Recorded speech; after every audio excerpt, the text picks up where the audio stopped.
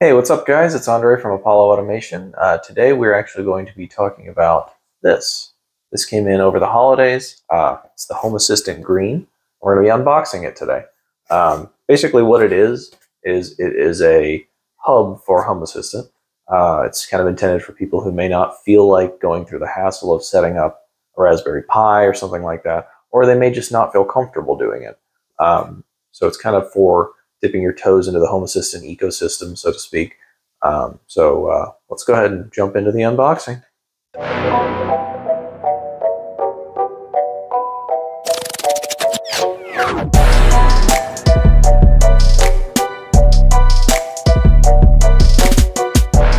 Yeah. All right, so let's take a look at what's in the box here.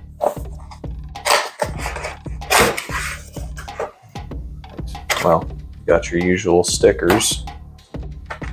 Nice little welcome pamphlet. Quarantine safety stuff.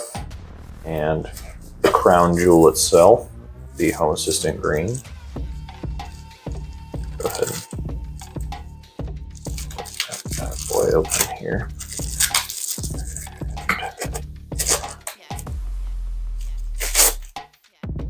All right, it's a nice looking thing. Look, there's a little little home logo right there. Kind of giving me that clear Game Boy vibe a little bit.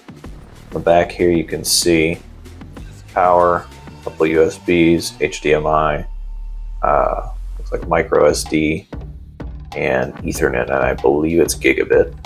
And this thing, obviously you can't tell how heavy it is, but this thing is really heavy, and I suspect it's because of this massive heat sink they put on the bottom. This thing is fanless, which is really nice. All right, moving on. So let's see here. Lift this up. Got a nice little Ethernet cable here. And like power supply, obviously. Everything's nice and labeled.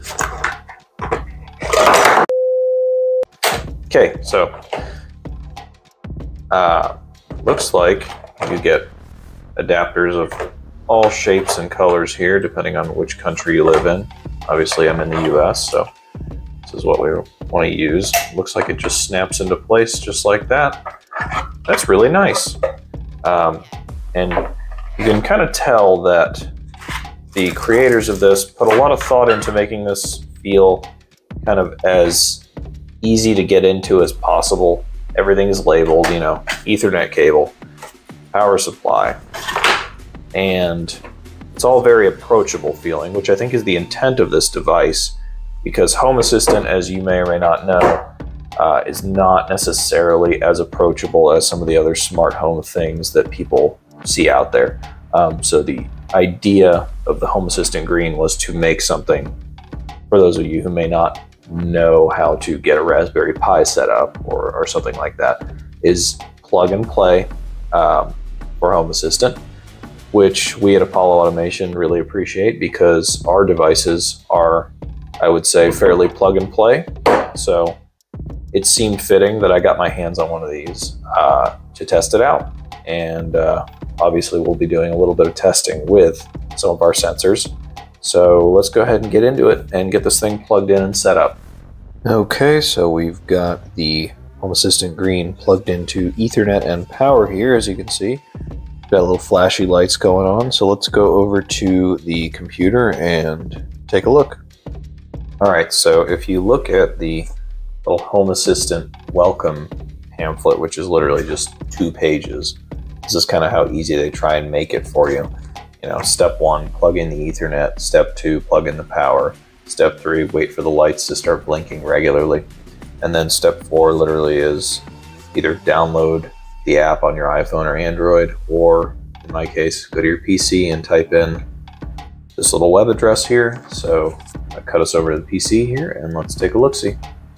All right, guys, so here we are in Chrome. So we're just going to type that web address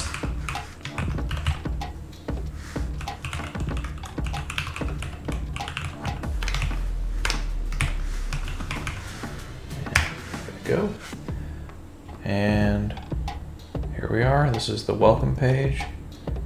create your smart home, go through and do all your username stuff, and follow the directions from there. So I think it's safe to say, at least from a setup standpoint, that uh, they really accomplished their goal of making this pretty accessible. Um, so props to them for that. Alright guys, that was our unboxing and setup video for the Home Assistant Green. If you guys are interested in buying one of these, I'll leave a link in the video description below. And for more content like this, make sure you like and subscribe this video. And we'll see you in the next one. Yeah.